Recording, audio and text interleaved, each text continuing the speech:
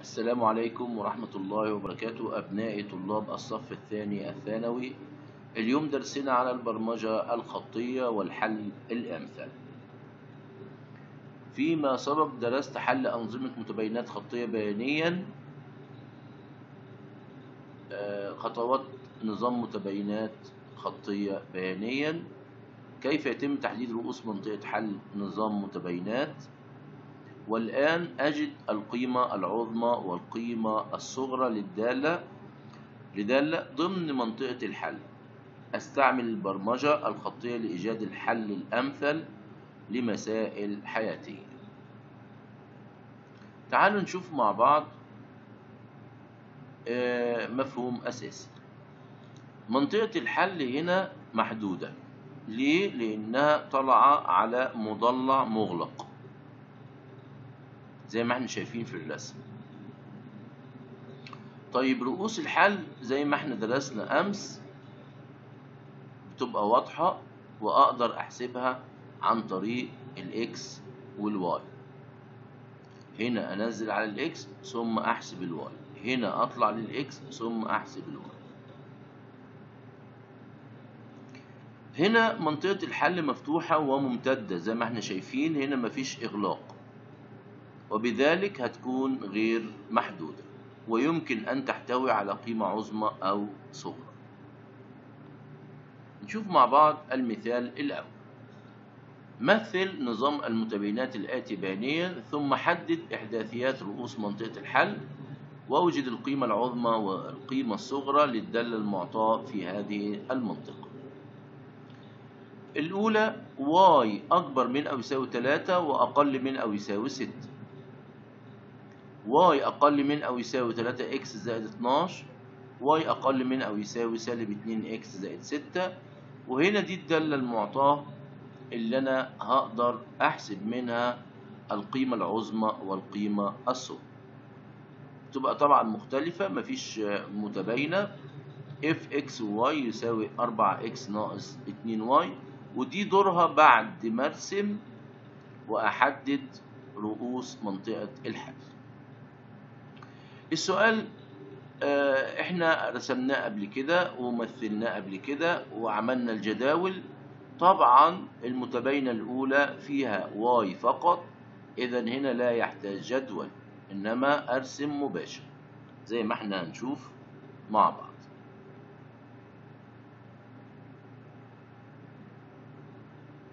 شوف عند تلاتة أخدنا خط أفقي وطبعا الخط متصل عشان موجود يساوي وعند الستة أيضا هنعمل خط متصل بينهم يساوي.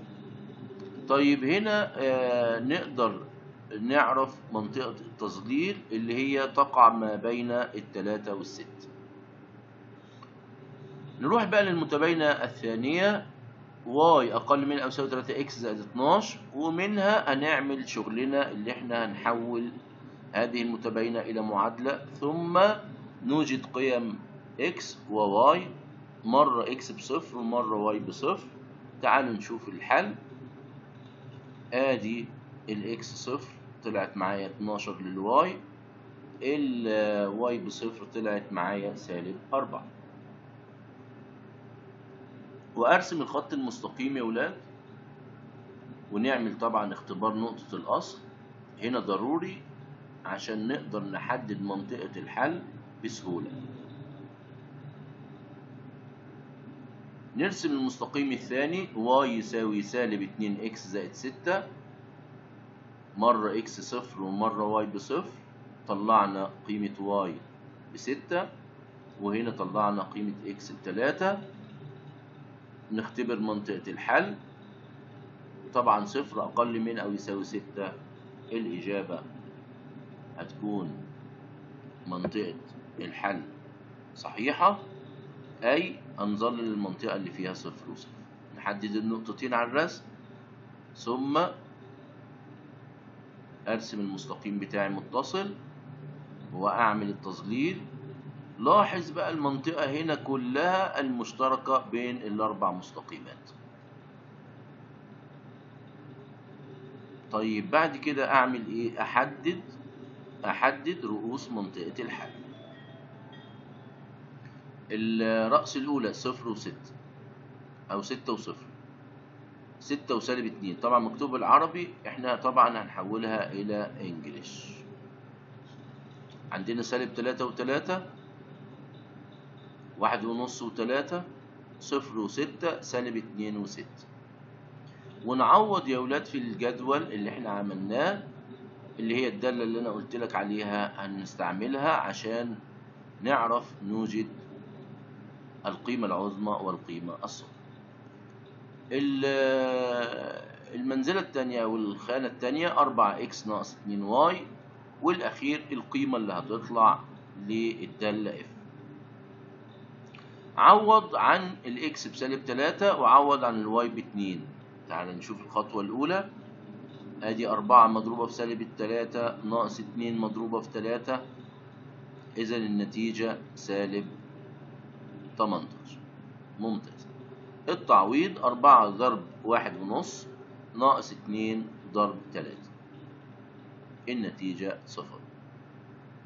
أربعة مضروبة في صفر ناقص اتنين مضروبة في ستة الناتج سالب اتناشر هنضرب الأربعة في سالب اتنين ناقص اتنين مضروبة في ستة الناتج سالب عشرين من هنا نقدر نحسب القيمة العظمى والقيمة الصغرى هنا القيمة العظمى لأن ده الصفر أكبر واحد فيهم كلهم أعداد سالبة.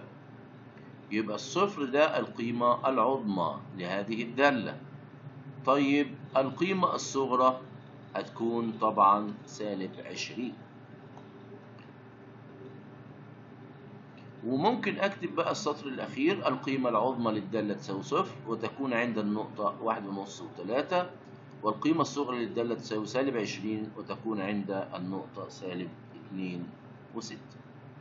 عندنا السؤال الأول واحد إيه طبعا هنقراه x أكبر من أو يساوي سالب اتنين وأقل من أو يساوي ستة.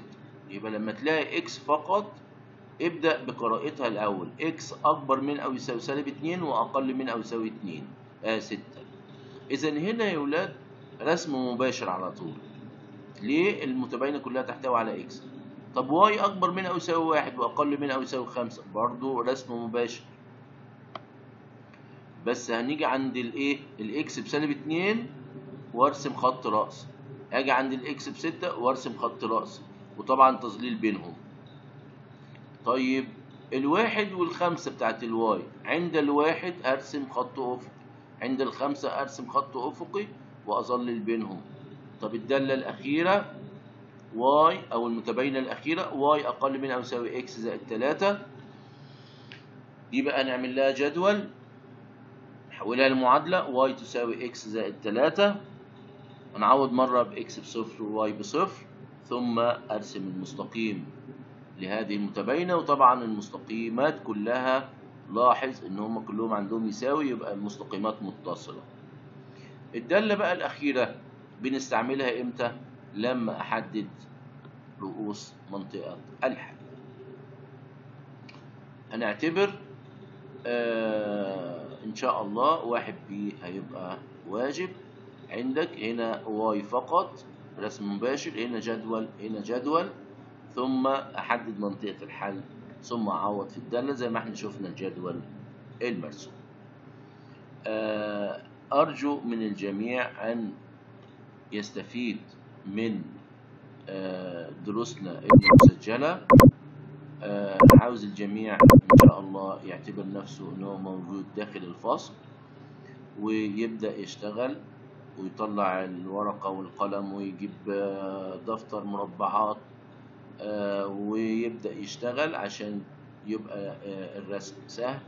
لكم مني التحية والسلام عليكم ورحمة الله وبركاته.